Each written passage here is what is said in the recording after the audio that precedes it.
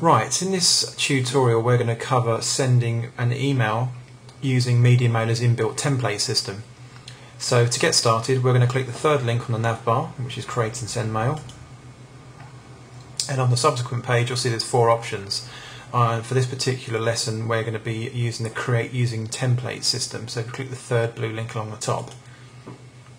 Now this is step one of the process. Now in step one, you're asked to associate your email to a campaign. Now campaigns are explained in a previous chapter. Uh, I'll briefly recap here. Uh, campaigns are really just a, a, reference point. It's a, it's a way of grouping your emails into a nice little collective archive. Um, so when that you've sent hundreds and hundreds of emails and you're trying to find particular emails that are of importance, if you actually send the important emails and, and place them within a campaign, it'll find it a lot easier to actually get hold of these emails and compare your data. So what we're going to do, we're going to send our email and associate it to a campaign we called YouTube Tutorials, which we created in an earlier chapter, and we're going to click Save and Continue. Now, in the next step, we select the template that we want to use to send our email. Now, Mailer's got quite a few inbuilt templates. Some are quite funky, some are quite nice and clean and corporate. So there's quite a few to choose from, and hopefully you should be able to find one that suits your needs. Now for this particular template uh, tutorial we're going to use Media Mailer codes which is the one at the bottom of the list.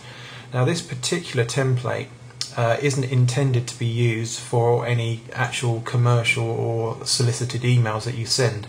It's literally a reference point and you'll see why when I press select and continue. Now this is step three this is where you actually edit your email. And you can see you've got a little WYSIWYG editor at the top.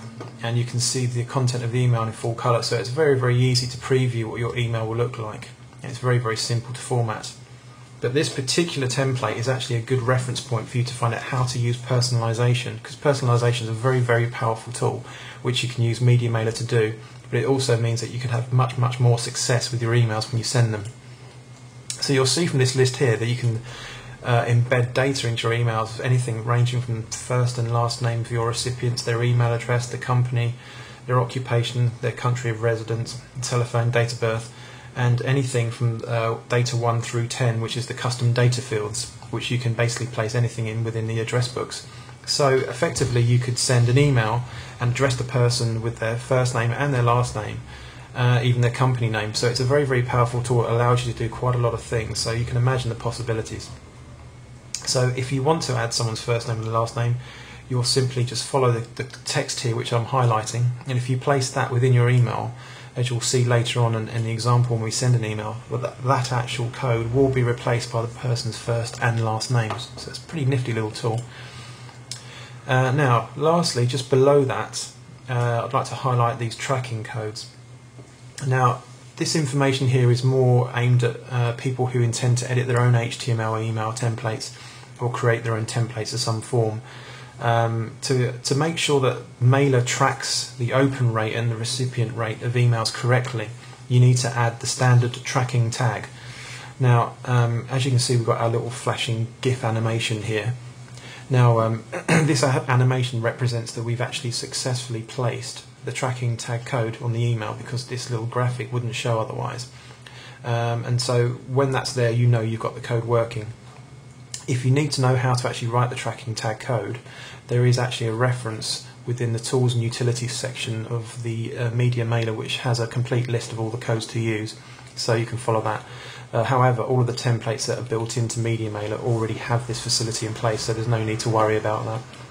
Now the last two little pieces that I need to tell you about are the standard unsubscribe tag and the standard click-through tag. Um, now it's good practice to have an unsubscribe link in your emails for obvious reasons. We don't want to annoy people, we don't want to just send them emails and not give them the option to be removed from your database. So what you can do is you can add an unsubscribe link and we'll simply type that there. And now to highlight that and then this simple step is just by pressing the unsubscribe link button and that is a fully working unsubscribe link. So it's very, very easy to do that within MediaMailer.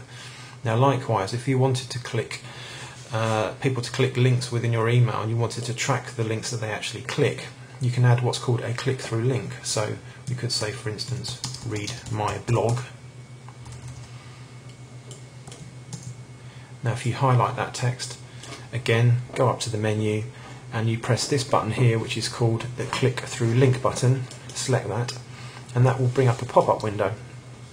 And within that pop-up window you simply type in the address of the website that you want the person to be relocated to, click save and then you're done. It's that easy. now, before we move on, we must make sure that we add a subject line to our email. And then at the base of the page, we need to ensure that we generate plain text content.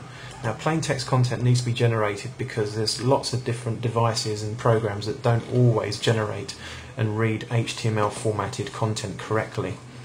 So Blackberries, for example, are, are a good um, example of a handheld device that can't read HTML. Now, it's not all Blackberries, but some older models don't. So we need to actually do this. Once we've done that, then we can click Save and Continue. Now, this penultimate step is uh, a useful way to actually preview your emails.